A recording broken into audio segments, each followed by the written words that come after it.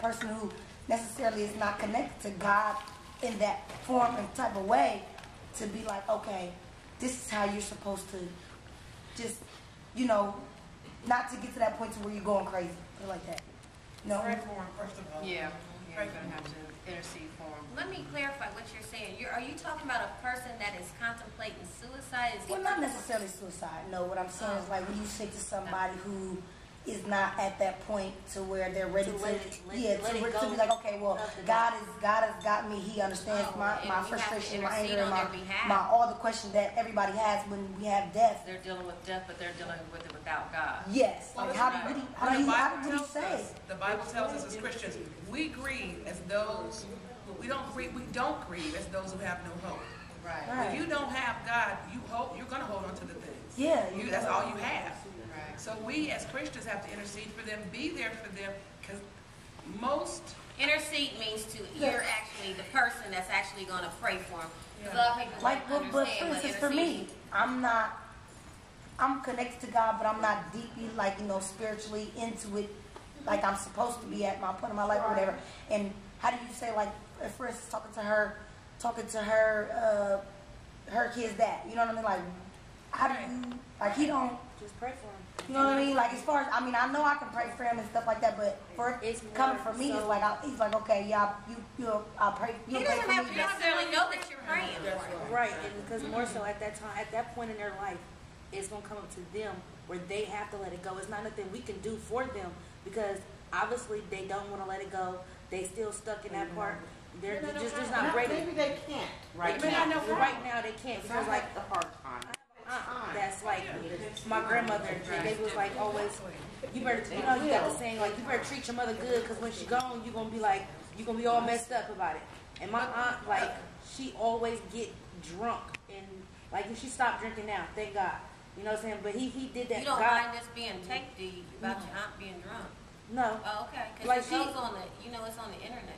it's just cool. I'm, Uh, I can cut this part out if you. I'm cool. I ain't saying her Okay, name. just don't but say it's her just, name. It's just like more so she- when she get to that point. By the time she was drinking, she was always, "Oh, my mom, I missed her," and just da da da. But you treated her so wrong when she was here, and now you grieving and keep on grieving guilt, over that's it. why. And, it's Guilt. guilt, and it's your guilt is getting to you. You know, it's like Hurting. And And drinking is probably her coping mechanism. That's Yeah, what she's and it's like- it's coping mechanism. And everybody always used to tell her like, you need to treat your mom, like you need to treat your mom better while she's here because when she gone, you gonna be the one that's missing her, and everybody else gonna be moved on with it. And now, thank God that she that came out of it. She done stopped drinking. She's a better person, you know. And she don't talk about my, my grandmother as much no more or anything like that. It's just like we was all like one day we was just like so, so surprised to be like, cause we when she when she got to that point we all was like, oh come on y'all we gotta go cause she about to she about to start this rampage. Just leave her in the room by herself. Cause we gotta go. Like I used to be like, dang, what's she going through? I, this as a little kid, I used to be like, what is she going through? Is this this Wow, Mom, this is is this very- right? You know, is this right? But now to see my aunt now that I'm older, it's like, hi, auntie. I'll be like happy to see her now. I'll be like so much like, Grieving takes time. wow. As, go when she said as a little kid, she was sitting there. You said you were looking like, yeah, like why is she doing this? It's on. There's other, there's people less watching right. going through this, and you had other children, didn't you? Right, right. My oldest son was um, 18 when my son died, and then my youngest was four months old. Oh. And yeah, and then I also had family members that were not as committed to Christ, or even you know have committed their life to Christ, and and so it. uh, So I I I knew that I needed to walk this out for them as well. Mm. And, and and I, you were talking about, you know, how do you say, if your life is for Christ, and you're saying that your life is for Christ, your life is a witness, and they're going to see that. There's a family member that is unsaved and has taken my son's death very, very personally. But in that, because of how they've seen me walking through it with God, now they are asking questions about God. Now they are turning they're turning to God and they're and they're now praying and okay, well, I want I want to be with Him again. I want to be with you know your son again. With you know what their relationship is to Him, and I, I just pray to God that I'm, I'm I'm doing what I'm supposed to do and I'm and I'm going the right way that I need to that I need to go. So there's not always words because if they don't have Christ in their life right at that particular time, they might not receive Him right away only because they're having those questions. Okay, God, I hear you're supposed to be loving, but okay, I don't see no love here. Mm-hmm. But you keep living your life for Christ, and your life is going to be that witness for I them a lot of statement, like, times. is it necessarily saying you're stuck when, like, for instance, for me, I'll be at home sometimes and just start crying because my aunt, my granny, you know. Is it necessarily saying I'm still stuck? No. No, not that. They're still breathing. It's a process of Right, grieving it's takes okay. time. It's And okay. then, and, and I think the thing that we need to be very careful with, it might take somebody ten years to get through it. Right. It might take somebody, I'm not, I don't know if I got through it in two days, but it might take somebody a year. When my, when my brother was killed, my brother was died on, on a Tuesday, Wednesday, Wednesday, my other brother had a U-Haul truck backed up to his house to clean up his house. And I'm like, what, What are you doing? and I'm just appalled. I'm like, what? Well, he has, and they're like, well, we need everybody come over. Can you get people to come over and clean out the house? And I'm like, and so I think I'm gonna, I'm, I so I go over there. I walk in the door. Now he's walking in, and he grieved, but little did I understand he was grieving a different way. Right. His way was everything out of, out of sight. Mm-hmm. So I walk in the house, and I walk in his bedroom, and I just lose it. I had a meltdown. They had to just take, get her out the bed so we can get the man out the house. They had to get rid of me because I became a distraction. I was in the way. But I am moving forward. I am moving on. He can't, it's been a little over, almost a year and a half now, a year and a half today. He can't look at his web, his Facebook page. So we de- we grieve in different ways. Right, and at different And I look at his. Facebook page all the time, but we process it differently. We're gonna do it differently. And some people, we all grieve differently. Right. Don't put that kind of pressure on yourself. No, Right. it's okay to Pray cry. about it. Pray about it. My dad's been dead ten years. I still cry about that. Mm-hmm. But You you're know, not stuck. It's a difference There's between a, there's a big crying difference. and then stuck. And, and Right. dismiss- Stuck means you can't oh, even move it forward. You Right. can't function, you can't do anything, you just, And here's an example also. One of the emotions that I deal with, and I've noticed this recently because of certain situations provoked it, mm-hmm. is anger. Mm-hmm. I'm, I'm ready, to- you know, I just be ready to, what? Yes. Mm-hmm. What? Right. You know, I'm, I'm very much out, what? You know? Yeah, right.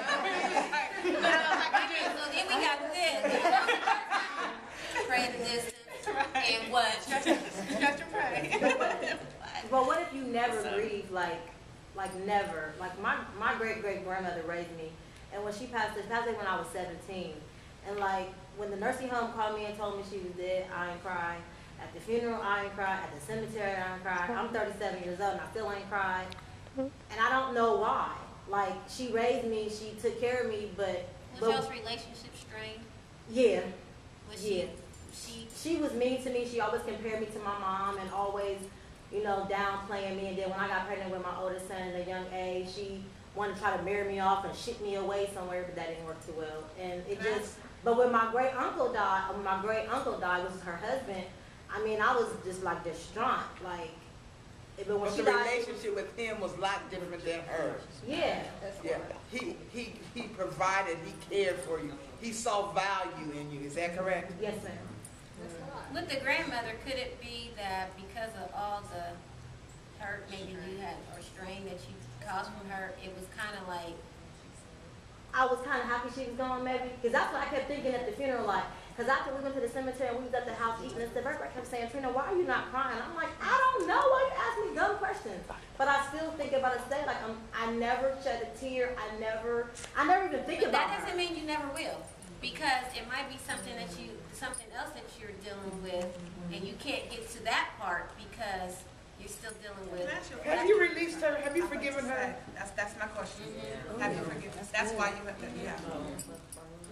It's almost like somebody did you like just what you get, you know, like because you haven't you haven't moved past that. And once you move past, you know, and give that forgiveness, then that part might come up. Yeah. Ask God to teach you how to forgive her. And then you're gonna see a breakthrough in some other things. Because the model prayer, Matthew six, Yes. forgive us as we forgive others.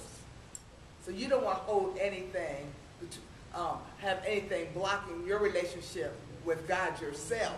Yes. So ask God to, ha- uh, to teach you how to forgive her. And if you drop down to fourteen and fifteen, when we forgive our brothers, God will forgive us. When we don't forgive them, God does not forgive us. The mm-hmm. other thing is forgiveness, as I said before, is the most wonderful release you will ever mm-hmm. experience in your life. It's greater than the birth of a child. It's greater than a marriage because it opens up your life. You get to breathe again. I got to breathe after not breathing from August 3rd till that day in November. Mm-hmm. I walked outside and saw the sun. Oh, August third. Are you serious? August 3rd was the day my brother, my, August third is the day that my friend died too. I remember that, I remember. Wow. Um, but forgiveness, it's, there are no, I can't even, I can't even describe it to you. Forgiveness is, it will, it will open up your life in such a way, you will be, you, when you look back, you'll be like, I was walking in that? How was I surviving? We're actually gonna have a, uh, our topic coming up next season, we're dealing with forgiveness and unforgiveness and things like that, so. And a lot of times people think that if they forgive somebody, that is actually letting them off the hook, they get away with something. But it is for us. And I know it sounds warped, like how? Okay, how? Can you do this to me and I gotta forgive you? But ask yourself this question, because I asked myself, not about my death, I'm talking about something my life. I've done enough stuff in my life that I don't want to take no chances. And God ain't gonna forgive me.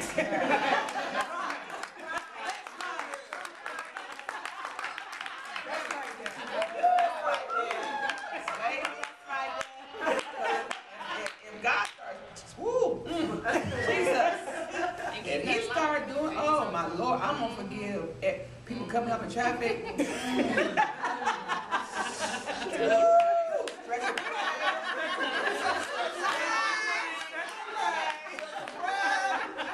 Somebody hit my car, I might go annoy their car, whatever I gotta do to get that off of me. That's right. I, I look back over my I might have to. Just because you know when you pray for somebody, you gotta almost forgive them. If you hit me, if you hit my car, I'm, I'm, just I gotta get it off of me. It's, it's, it's, it, that, that, ooh, especially when somebody can do something to you, to your food. I'm not how you got your lips balled up, oh, you know how, when you like this, right? They done really Yes. did the Yes, yes, something. yes. Where you wanna, not stretch and pray, where you wanna reach out and touch something. Yes. Mm-hmm. Touch and lay hands. It's hard.